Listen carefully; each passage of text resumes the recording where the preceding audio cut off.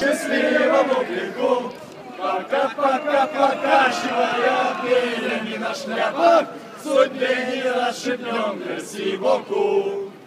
А что там дальше?